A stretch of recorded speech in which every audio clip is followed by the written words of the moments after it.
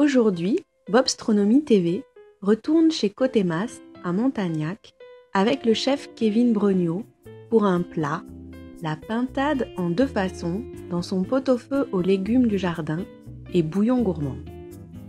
Donc ça c'est euh, les ingrédients pour euh, le pot-au-feu de pintade. Donc je suis parti sur un pot-au-feu classique avec euh, un bouillon de pot-au-feu qui est qui est juste derrière moi. Je fais une réduction de vin rouge, de Syrah en l'occurrence, de nos vins rouges. Et en fait je, je l'incorpore à, à ma sauce, à la base de mon pot-au-feu. on a désossé la cuisse, on l'a dénervé, on a mis une farce foie gras, girole, ventrèche et euh, déglacé au porto.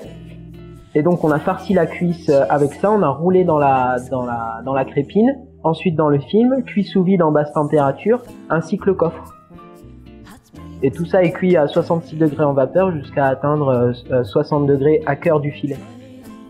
Ce qui nous donne cette belle cuisson rosée. Et la viande est cuitante.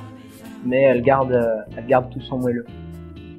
Voilà, après on reprend les légumes classiques du pot-au-feu, le petit navet, la petite carotte, le mini poireau, la petite croquette qui est un chromeski. Je reprends en fait la farce qu'il y a dans la, dans la cuisse pour en faire une petite croquette, amener un peu de croquant. Voilà, foie gras, porto, ventrèche, girole et foie de volaille.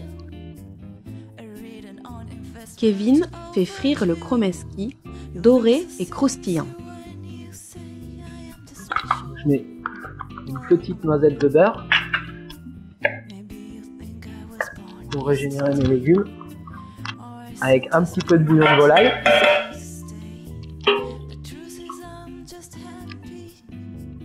Là, il n'y a aucune. Euh, le légume n'a pas du tout été agressé par une cuisson, euh, une cuisson vive. Notre viande est cuite hein, dans tous les cas. C'est-à-dire que globalement, je pourrais la servir comme ça. On pourrait la manger comme ça. Là, en fait, l'intérêt, c'est que comme elle est cuite, la peau est cuite aussi. On va la marquer comme ça, elle va devenir bien dorée et bien croustillante. Voilà, donc là, vous voyez, on commence à avoir une belle coloration. Et on continue là pour amener un peu de croustillant.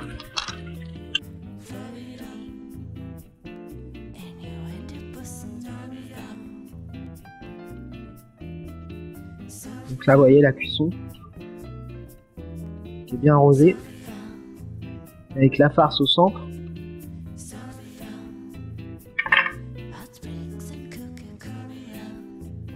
Le dressage se fait en disposant harmonieusement les éléments de cette recette dans une assiette creuse.